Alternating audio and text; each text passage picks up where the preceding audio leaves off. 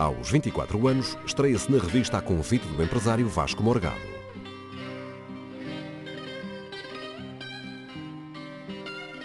A peça chamava-se Canta Lisboa e contava com Laura Alves no elenco.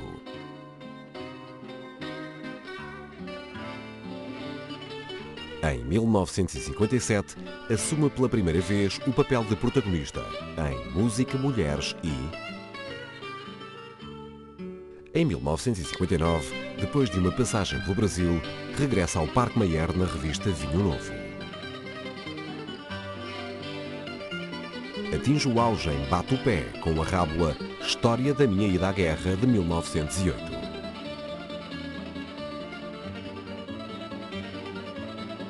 centra nos últimos anos a carreira na televisão e no cinema.